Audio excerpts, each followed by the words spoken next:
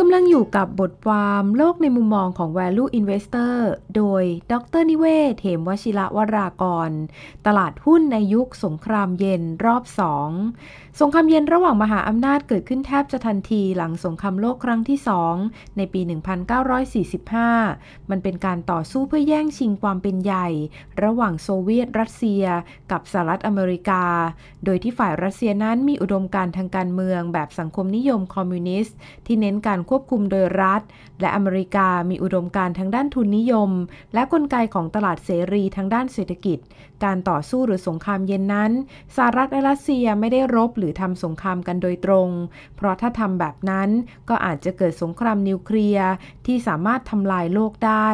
ในช่วงสงครามเย็นจะเป็นการรบโดยใช้ตัวแทน ซึ่งก็เป็นประเทศในเครือข่าย ที่เป็นพวกพ้องของตนเข้าไปรบแทน โดยที่อเมริกาหรือโซเวียต รัสเซีย ก็จะส่งอาวุธสนับสนุนฝ่ายของตน ในหลาย ๆ ครั้งก็อาจจะเข้าไปรบด้วยเอง ถ้าเห็นว่าฝ่ายของตนกำลังจะพ่ายแพ้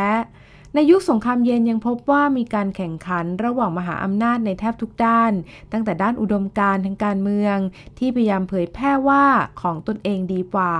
แข่งขันทางด้านเทคโนโลยี ว่าใครจะกล้าวหน้ากว่ากัน และทางเศรษฐกิจว่าใครโตเร็วและใหญ่กว่ากัน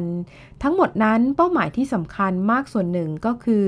ต้องการหาพวกให้ได้มากที่สุด เพราะทั้งสองฝ่ายต่างก็รู้ว่า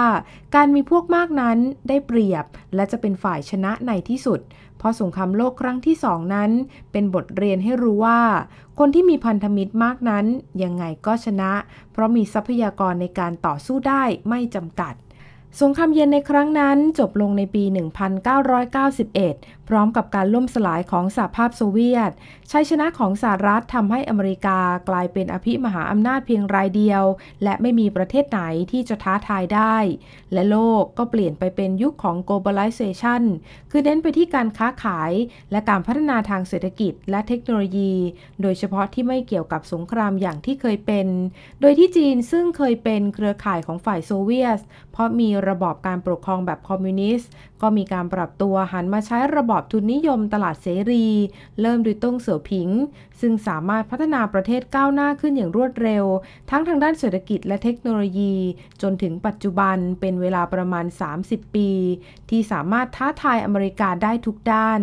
เช่นเดียวกับโซเวียตรัสเซีย ในช่วงหลังสงครามโลกครั้งที่ 2 และต่อเนื่องจนถึงประมาณปี 1960 ที่สามารถพัฒนาประเทศจนเกือบตามทันสหรัฐในทุกด้าน ทั้งทางด้านเศรษฐกิจ เทคโนโลยี และทางการทหาร และดังนั้นการต่อสู้เพื่อความเป็นใหญ่ จึงดูเหมือนว่ากำลังจะเกิดขึ้นในโลกอีกครั้งหนึ่ง คราวนี้เป็นจีนกับสหรัฐ โดยที่รัสเซียกลายเป็นประเทศเครือข่ายของฝ่ายจีน และในครั้งนี้ อุดมการที่ใช้ในการชักชวนให้ประเทศอื่นเข้ามาเป็นพวก ดูเหมือนจะเปลี่ยนแปลงไป และไม่ใช่คอมมิวนิสต์ที่ล่มสลายไปแล้ว แต่เป็นเรื่องหนึ่งของความเป็นประชาธิปไตย กับความเป็นเผด็จการที่แบ่งค่ายของแต่ละฝั่ง และครั้งนี้ก็เช่นเดียวกับสงครามเย็นครั้งแรก ประเทศทั้งหลายต่างก็แทบจะถูกบังคับให้เลือกว่าจะอยู่ฝั่งไหน การเป็นกลางนั้นไม่ใช่เรื่องง่าย และทั้งหมดนั้นก็นำมาสู่เรื่องราวของการลงทุน โดยเฉพาะในตลาดหุ้น ซึ่งกลายเป็น globalization ไปก่อนแล้วว่า เราจะทำอย่างไร ถ้าสงครามเย็นรอบนี้ดำเนินไปต่อเนื่องยาวนานแบบครั้งก่อน เฉพาะอย่างยิ่งตลาดหุ้นทั่วโลก และในแต่ละประเทศจะเป็นอย่างไร มองประวัติศาสตร์โดยเฉพาะตลาดหุ้นอเมริกา หรือดัชนีสุกรรมดาวโจนส์ที่มีสถิติต่อเนื่องมานานเป็นศตวรรษ ผมจะแบ่งเป็นช่วงหรือยุคโดยอิงกับเรื่องของสงคราม ทั้งสงครามร้อนและเย็น เริ่มแรกก็คือดัชนีดาวโจนส์หลังสงครามโลกในปี 1945 มาจนถึงปี 1960 หรือประมาณ 15-16 ปี เป็นช่วงของการฟื้นตัวจากสงคราม ดัชนีดาวโจนส์ปรับตัวขึ้นจาก 195 จุดในเดือนธันวาคม 1945 เป็น 721 จุด ในเดือนสิงหาคม ในปี 1961 ทั้งๆทที่เกิดสงครามเย็นมาตลอด หรือคิดแล้ว ดัชนีดาวโจนส์ให้ผลตอบแทนแบบทบต้นถึงปีละ 8.5%ซึ่งถ้ารวมปันผลก็อาจจะประมาณปีละ 10%ซึ่งถือว่าดีมาก สอดคล้องกับการเจริญเติบโตที่ดีเยี่ยมของเศรษฐกิจอเมริกาในช่วงนั้น ยุคของสงครามเย็นจริง ๆ นั้น ผมกำหนดให้เริ่มต้นในปี 1961 จนถึงปี 1991 เป็นเวลาประมาณ 30 ปี โดยที่จุดเริ่มต้นนั้น ตรงกับช่วงที่อเมริกากับโซเวียตต่อสู้หรือแข่งขันการรุนแรงที่สุด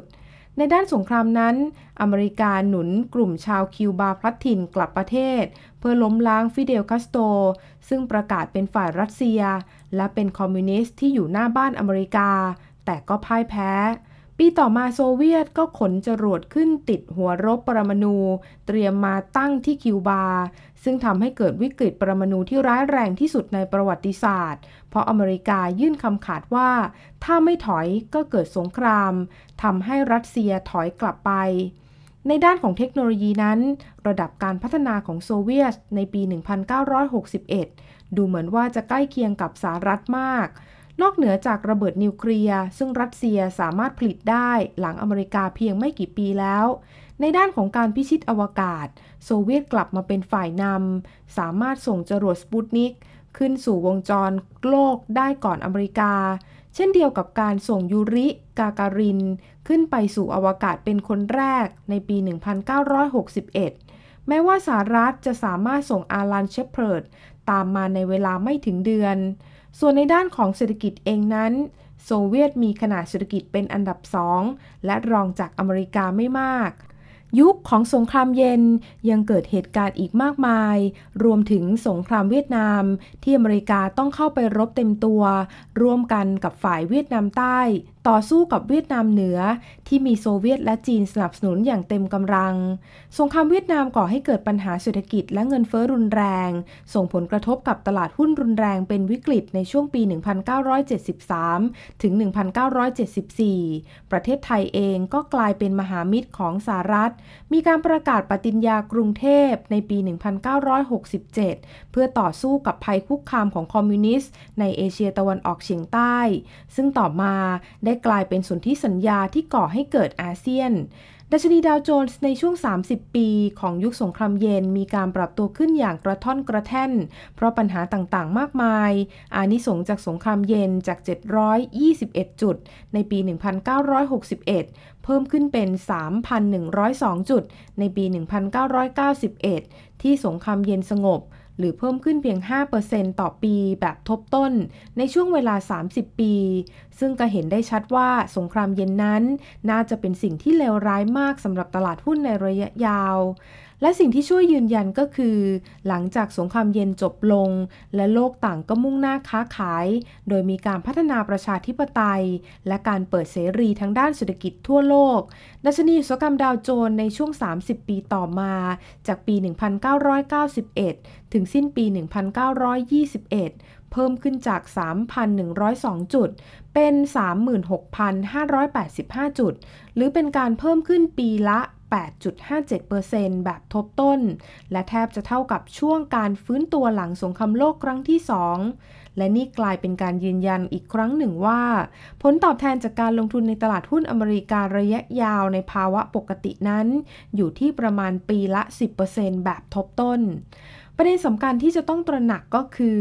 นี่คือช่วงเวลาของการเริ่มต้นสงครามเย็นรอบใหม่ ที่จะดำเนินต่อไปยาวนานหรือไม่ และถ้าใช่ ผลกระทบกับตลาดหุ้นจะเหมือนเดิมไหมถ้าดูเฉพาะเหตุการณ์ในช่วงสั้น ๆ ที่ผ่านมา ก็ดูเหมือนว่ามันกำลังซ้ำรอยสงครามเย็นรอบแรก โดยที่อเมริกากับโซเวียต มีอุดมการณ์ที่แตกต่างกันไปคนละขั้ว คือประชาธิปไตยกับเผด็จการคอมมิวนิสต์ ซึ่งก็เหมือนกับสหรัฐกับจีน เช่นเดียวกัน พลังอำนาจและศักยภาพทางเศรษฐกิจ ระหว่างอเมริกากับโซเวียต ในช่วงเริ่มต้นสงครามเย็นใกล้เคียงกันมาก โดยที่โซเวียตไล่กวดสหรัฐมาอย่างรวดเร็ว หลังสงครามโลกครั้งที่สอง เช่นเดียวกับจีนที่ไล่กดอเมริกาอย่างรวดเร็ว อย่างที่ไม่เคยเกิดขึ้นในประวัติศาสตร์ และภายในไม่กี่ปีก็จะทัน ในด้านของเทคโนโลยีเองนั้นสหรัฐกับโซเวียตแทบจะเสมอกันในช่วงเริ่มต้นสงครามเย็น บางด้านอเมริกาก็นำ บางด้านโซเวียตก็นำ โดยเฉพาะในด้านที่เกี่ยวกับการทำสงคราม เช่นเดียวกับจีนที่ปัจจุบันมีเทคโนโลยีบางอย่างที่นำอเมริกาไปแล้ว แม้ว่าอีกกว่าครึ่งอาจจะตามอยู่